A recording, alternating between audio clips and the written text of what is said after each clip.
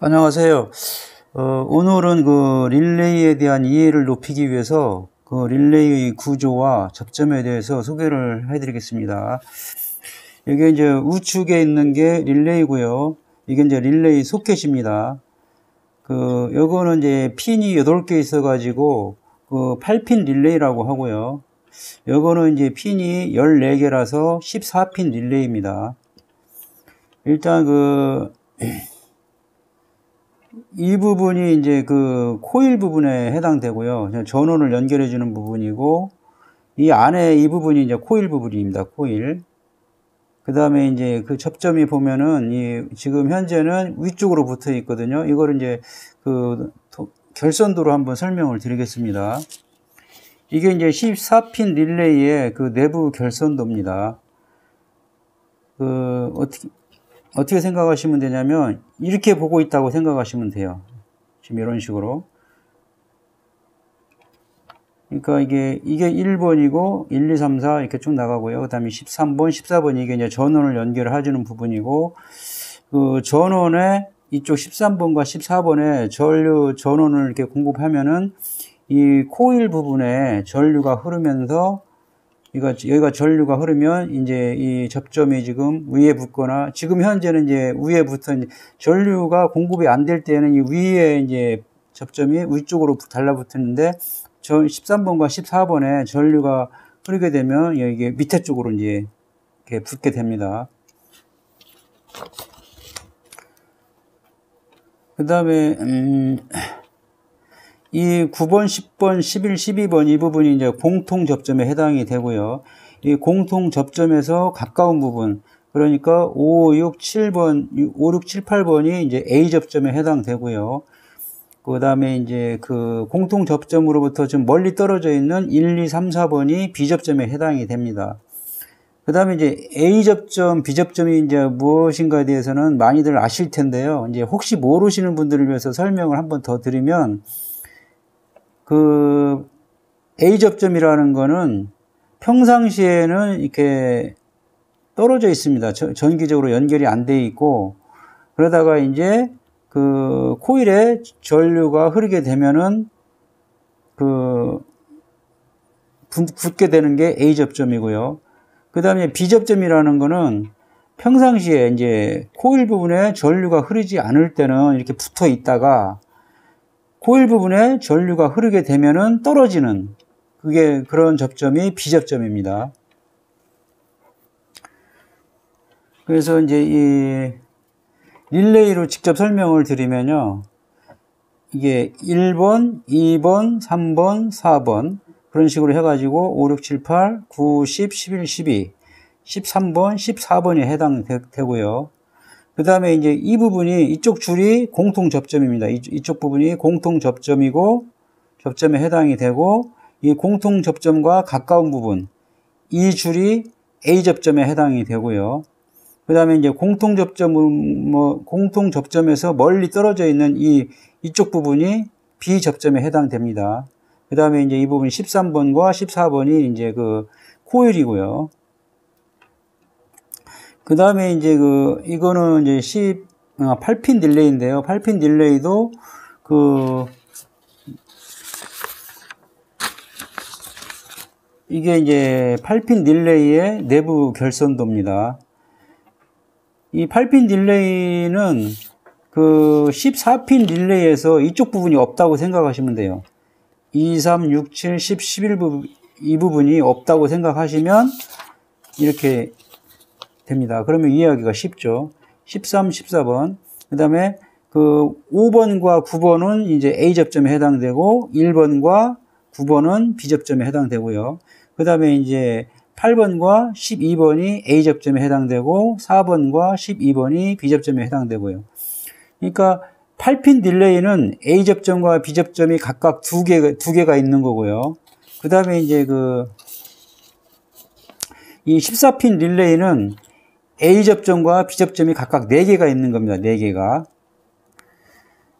그 다음에 그 릴레이 소켓에 보면 지금처럼 이런 식으로 이제 되어 있는 형태가 있고 그 이런 식으로 이제 원형 모양으로 이제 되어 있는 그 소켓도 있습니다. 그런데 이제 제 개인적인 의견으로는 이 원형 모양 소켓은 접점을 알기가 좀 외우 접점을 그 이해하기가 좀 어렵고요. 그 이 사각형으로 된 거, 이런 모양의 그 소켓이 그 접점을 이해하는데 좋은 것 같습니다. 이 릴레이 소켓을 기준으로 이제 접점을 설명을 드리면요.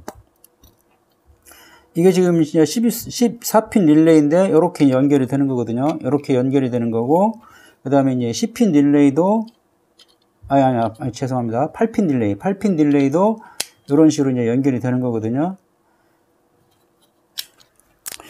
릴레이 그 접점에 대해서 이해하기 쉽게 설명을 드리면요.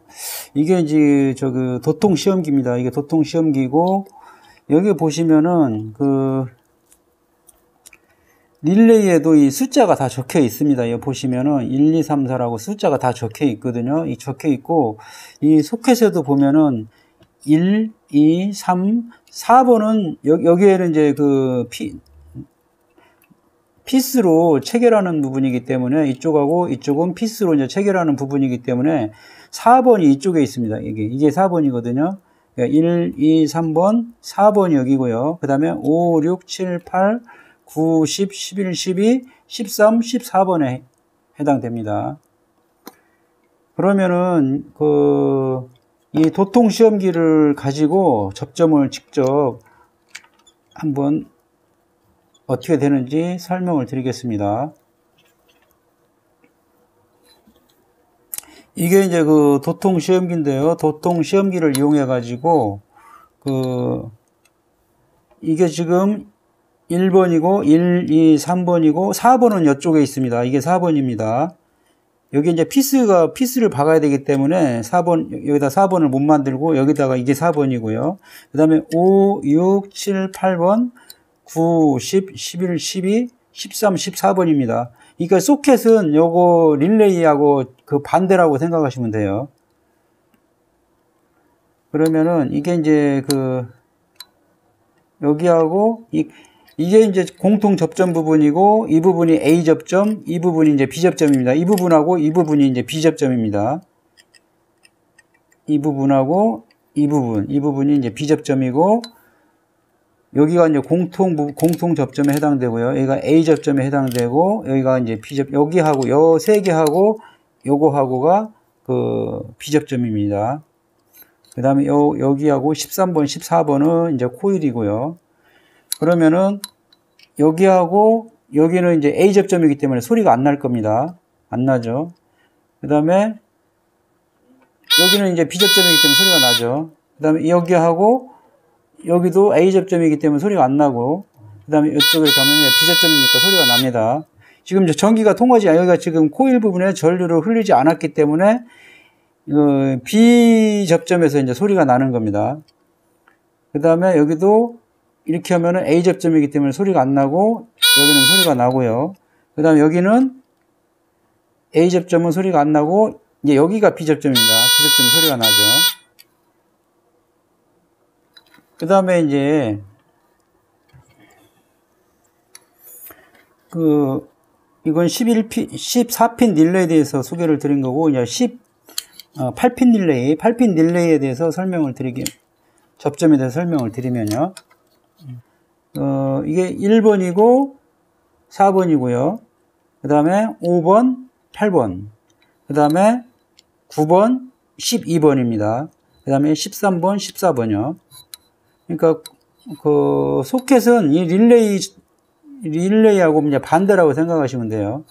그 다음에 이제 이 여기하고 이 부분은 A 접점이기 때문에 소리가 안 나죠. 여기는 이제 B 접점이니까 소리가 나고요.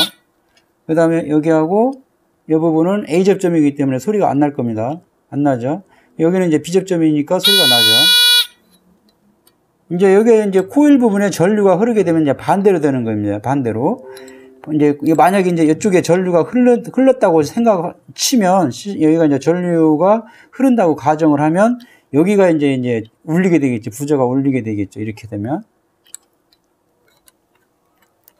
그러니까 다시 한번 설명을 드리면 이 8핀 딜레이에서 이 부, 이쪽 부분이 이제 공통 접점에 해당되고 이각 공통 접점하고 하여튼 가까운 부분이 A 접점입니다. 그 릴레이라든가 전자 접촉해서 다 마찬가지로 이 공통 접점하고 가까운 부분이 A 접점에 해당되고 공통 접점에서 먼 부분이 B 접점, B 접점에 해당이 됩니다. 이게 이제 8핀 릴레이 소켓인데요. 소켓에서도 이제 그 연결 부분이 원형 모양으로 된 소켓이거든요.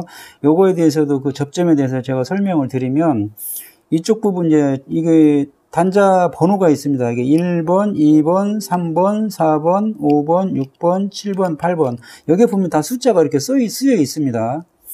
그 다음에 이제 이, 이 2번, 여기 2번과 7번이 이제 코일 부분이고요. 코일 부분에 해당되고 이게 이제 그 다음에 1번과 8번이 공통 접점입니다. 공통 접점이고 그 다음에 이제 공통 접점과 이 수직인 거 여기가 비접점입니다. 비접점 수직인 게 비접점이고 이게 이 비접점의 옆에 있는 것들이 A 접점입니다.